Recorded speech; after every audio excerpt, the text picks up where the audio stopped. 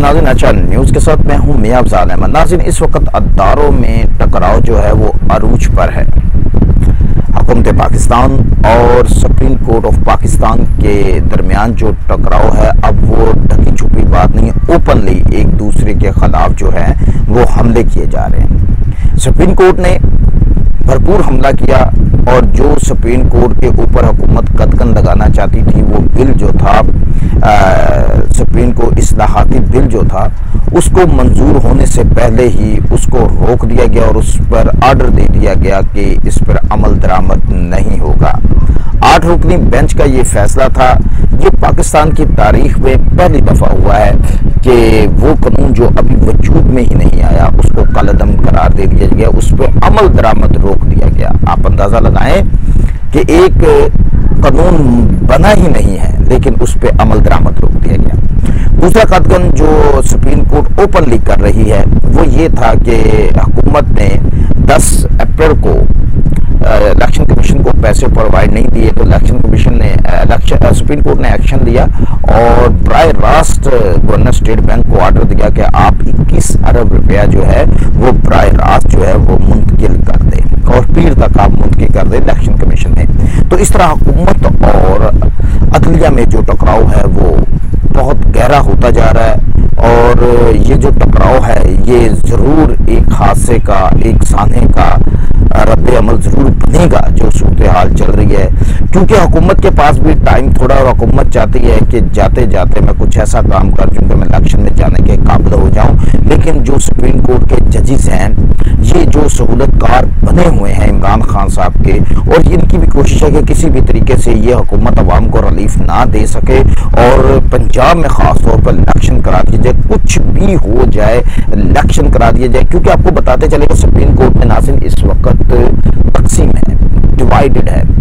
जो supreme court के chief justice है, जस्टिस अताब बंदयाल, इन्होंने हम अपना, हम ख्याल ग्रुप अलग कर लिया है और इन्होंने आठ रुकनी जो बेंच बनाया ये प्योरली बंदयाल ग्रुप कहलाता है और सात रुकनी जो है वो ईसा काजी ग्रुप है, जो बाकी बचा है। तो इन्होंने इनके दरमियान भी जो है वो तकसीम बरकरार और यहाँ भी खबरें आ रही थी कि जस्टिस फाइज ईसा और चीफ जस्टिस ऑफ़ अता बंदयाल के दरमियान हाथापाई हुई है, जहाँ होते होते रह गई या तल गुलामी हुई है। लेकिन उसके बाद सुप्रीम कोर्ट ने वहाँ पे एक बयान, वजाहती बयान जारी किया कि ऐसा कोई बयान नहीं, ये एक रूमर्स है। लेकिन यहाँ पे मशहूर यूट्यूबर असतूर अपनी पे कायम है, वो कह रहे नहीं, इनके दरमियान हाथापाई हुई है। जस्टिस काजी ईसा और चीफ जस्टिस अता बंदयाल के जो दरमियान हाथापाई हुई है और एक दूसरे को इन्होंने गालियाँ भी दी हैं। तो नाजिन जो सुप्रीम कोर्ट है, ये आपस में डिवाइड हो चुकी है। आठ रुकनी बेंच एक तरफ़ है, सात रुकनी जो जजेज है, जो सीनियर है, जिन्हें अताब चीफ जस्टिस अताब बंदयाल ने अपने टनोर में मुँह नहीं लगाया है और ना ही किसी अहम केस में जस्टिस सरदार मसूद को बैठाया, ना जस्टिस काजी ईसा को, क्योंकि ये आने वाले चीफ जस्टिस है, ना इन्होंने बैठाया है।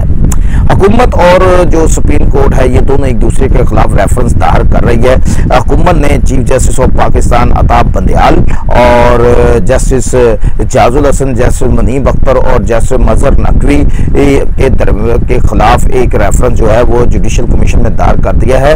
और इसी तरह जो है अताब बंदयाल ग्रुप इन्होंने जस्टिस काजी ईसा फाइज के खिलाफ भी आज एक रेफरेंस दायर किया है। तो नाजिन सुप्रीम कोर्ट में तो तकसीम नज़र आ रही है और ये दो हिस्सों में तो तकसीम हो गई है। सुप्रीम कोर्ट दो हिस्सों में अता बंदयाल और काजी ईसा के दरमियान जो है, वो तकसीम हो चुकी है।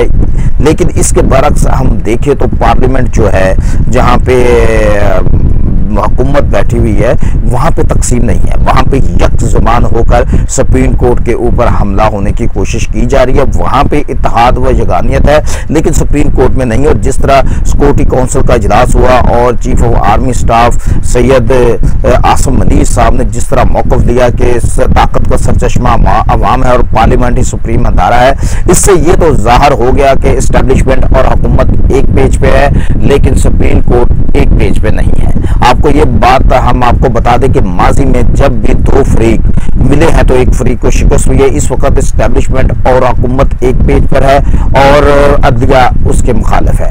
माजी में जब नवाज़ शरीफ को नाहल करार दिया गया तो उस वक्त अदलिया और इस्टेब्लिशमेंट का गठजोड़ था।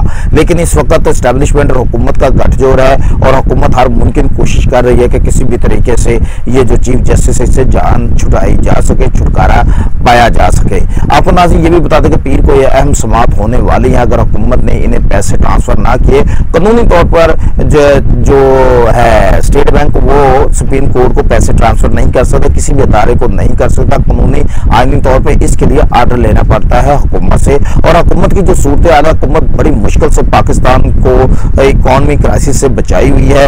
और हाल ही में जब इनका एग्रीमेंट होने जा रहा है आईएमएफ के साथ, और यूएई ने एक अरब डॉलर सऊदी अरब ने दो अरब और चाइना ने दो अरब डॉलर पाकिस्तान के अकाउंट में मुंतकिल कर दिया है जहाँ होने वाला है। कुछ के हो गए कुछ ममालिक के होने वाले हैं। तो आईएमएफ ने भी कह दिया कि हम पाकिस्तान को कर्जे दे रहे हैं और इसके ऊपर सुप्रीम कोर्ट का ये जिद करना कि इक्कीस अरब स्टेट बैंक मेरे अकाउंट में डाले तो ये भी, इससे भी बुरा मैनफी इफ़ेक्ट जाता है क्योंकि हर अदारा अपनी डोमेन में काम करे तो बेहतर है। ये ज़रूरी नहीं है कि आप, अगर वज़ीर आज़म आपकी बात नहीं मान रहा तो आप उससे तो अदालत में फारग करें। तो ये बर रास्त किसी अदारे को आप हुक्म दे रहे हैं कि वो आए और मुदाखलत करे और पैसा इलेक्शन कमीशन को दे।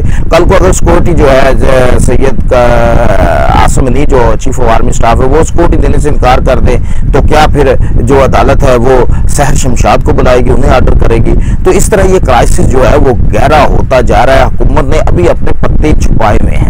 हुकूमत फूक फूक पे कदम रख रही है क्योंकि माजी में इनके चीफ जस्टिस ऑफ़ पाकिस्तान ताब बंदयाल और हुकूमत के दरमियान एग्रीमेंट हुआ था, जिसमें जूनियर जजेस को अपॉइंटमेंट किया था, गया था और हुकूमत ने गारंटी ली थी अताब बंदयाल साहब की किसी भी अदारे से कि ये अब कानून और आइन के मुताबिक काम करेंगे। लेकिन अताब बंदयाल साहब जो चीफ जस्टिस उन्होंने वादा खिलाफी की और हुकूमत के खिलाफ ठुक कर आ गए हैं और उन्होंने खुलकर इमरान खान साहब की जो है वो हमायत करना शुरू कर दिया क्योंकि इमरान खान साहब कहते हैं किसी भी तरीके से पंजाब जो है मेरे हाथ से ना निकले और मुस्लिम लीग नून भी चाहती है कि पंजाब मैं मर जाऊँगी, लेकिन पंजाब नहीं दूँगी।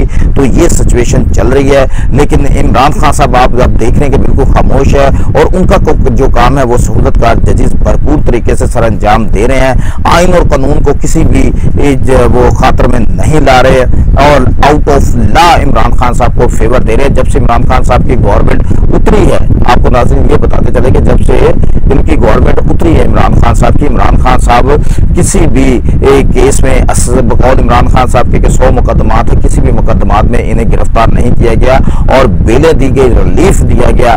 लेकिन इसके बरक्स जो पीडीएम की क्यादत थी दो दो साल कैद में रही तो ये अदलिया का सलूक है। इमरान खान साहब के साथ और सहूलतकारी भरपूर तरीके से सर अंजाम दी जा रही है। 2018 में स्टैब्लिशमेंट ने सहूलतकारी दी थी, उन्होंने तो कानों का हाथ लगा लिया, लेकिन जो हमारे चीफ जस्टिस ऑफ़ पाकिस्तान है जब सुप्रीम कोर्ट में जो उनके सहूलतकार बैठे हुए हैं, लेकिन वो इमरान खान को भरपूर सहूलत दे रहे हैं और मुल्क चाहे बाढ़ में चले जाए, लेकिन इलेक्शन इमरान खान के लिए हर मुमकिन कराना है, चाहे कुछ भी हो जाए।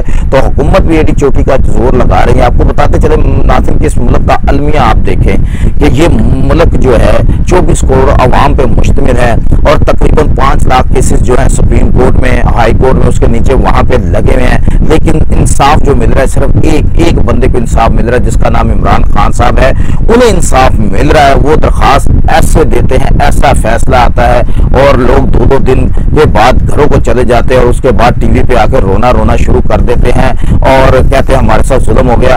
उन लोगों अपने दौरे हुकूमत में दो दो साल लोगों को इन्होंने जमानत नहीं दी छह छह साल छह छह महीने नहीं दी आठ आठ महीने नहीं दी, वो भूल जाते हैं। लेकिन सुबहान कुदरत है अल्लाह पाक की कि ये देखें कि जो हमारे चीफ जस्टिस ऑफ़ पाकिस्तान है, पाँच लाख केसेस का फैसला नहीं करते, लेकिन एक आप अंदाज़ा लगा लें इसका कि एक तरीके इंसाफ के केसेस का आज खुद नोटिस भी लिया जाता है और फैसला भी सादर किया जाता है। और लगता है कि चीफ जस्टिस ऑफ़ पाकिस्तान जो है अता बंदयाल साहब, इन्होंने कसम खाई हुई कि मैंने अपने टनोर में ही इमरान खान साहब को इलेक्शन देना है और उन्हें वज़ीर आज़म बनाना है। क्योंकि अंदर खाते जो रूमर है वो ये भी है कि इमरान खान साहब ने कहा कि अगर मैं वज़ीर आज़म पाकिस्तान आ गया तो आपको एक्सटेंशन दे दूँगा।